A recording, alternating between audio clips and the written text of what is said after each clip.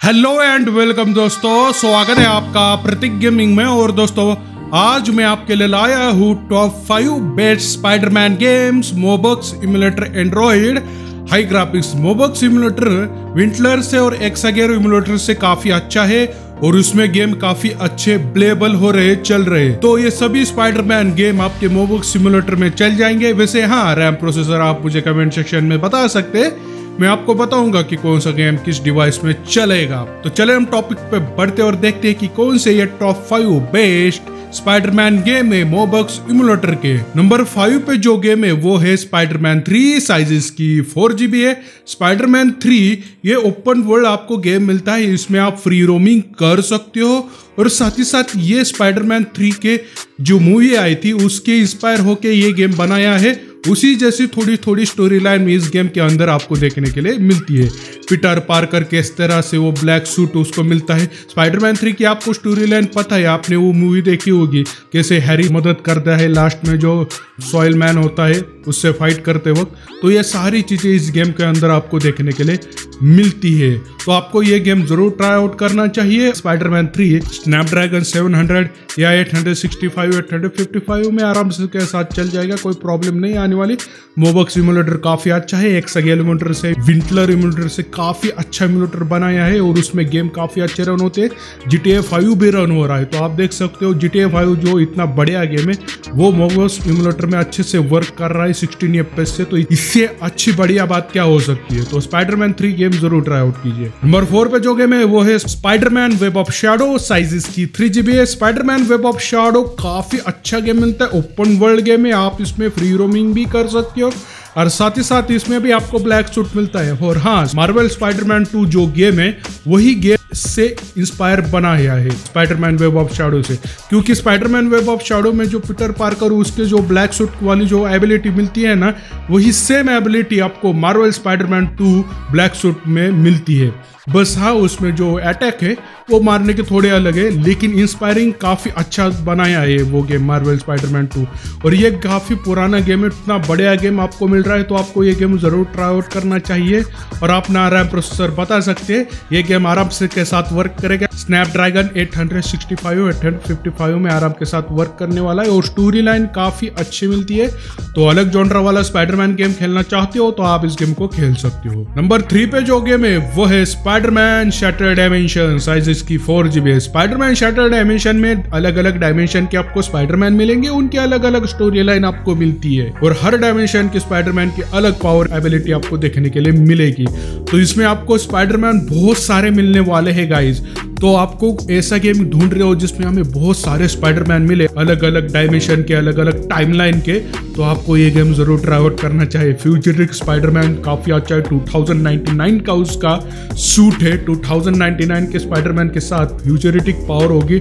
मतलब ये टेक्नोलॉजी वाला पूरा कंप्लीट स्पाइडरमैन मिलता है। उसके अंदर काफ़ी अच्छी पावर एबिलिटी मिलती है। और इसमें आपको एक ब्लैक सूट वाला भी स्पाइडरमैन मिलता है। तो काफ़ी अलग अलग स्पाइडरमैन है। और ये भी गेम आप मुझे बता सकते हैं रैम प्रोसेसर, मैं बताऊँगा ये गेम किस डिवाइस में चलेगा, किस डिवाइस में नहीं ताकि आपका डाटा वेस्ट ना जाए। चार जीबी का गेम है तो गेम आराम के साथ वर्क करेगा और साथ ही साथ ये game Dolphin internet W I में भी मिलता है। यदि Spiderman shattered dimension Mobox simulator PC वाला नहीं चला तो आप डॉल्फिन मोटर वाला खेल सकते हैं। ताकि दिक्कत ना हो साइज़ की भी, और गेम को भी आप इंजॉय करें। दिक्कत ना हो ना गेम इंजॉय करने में। और हाँ वैसे वो ग्राफिक्स में थोड़ा डिफरेंट है।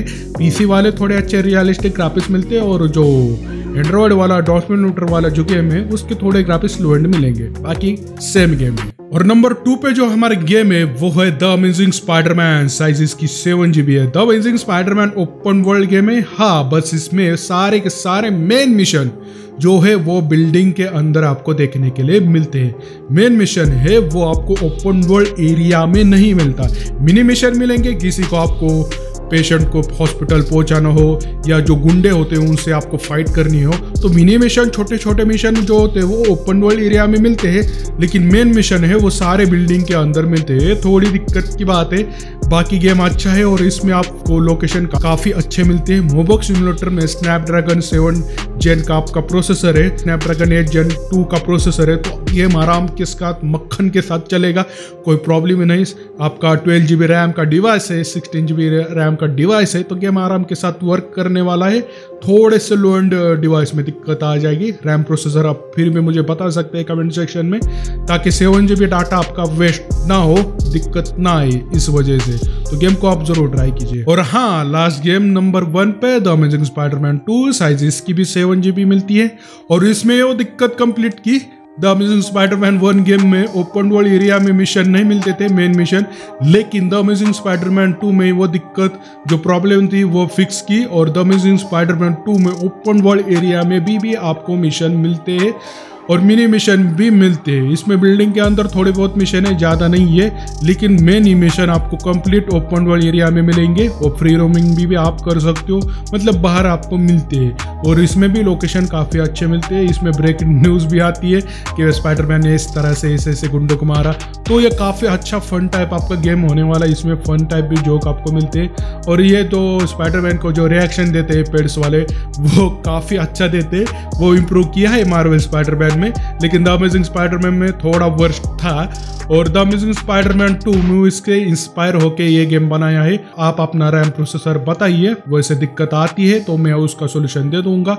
थोड़ा सा स्नैपड्रैगन का ये जेन टू का प्रोसेसर लगेगा सेवन जेन टू का प्रोसेसर लगेगा, तभी आपका ये गेम स्मूथली वर्क करेगा। Twelve G B sixteen G B RAM का डिवाइस है। यदि आप सिक्सटीन एफ़ पे इस गेम को खेलना चाहते हो तो वो डिवाइस आपके लिए चाहिए। नहीं तो स्नैपड्रैगन 865 855 में लो एंड इसकी सेटिंग करके आप गेम आराम के साथ खेल सकते। हैं कोई प्रॉब्लम आपको नहीं आती। वैसे ये गेम टॉल स्पिनोमीटर के लिए अवेलेबल नहीं है।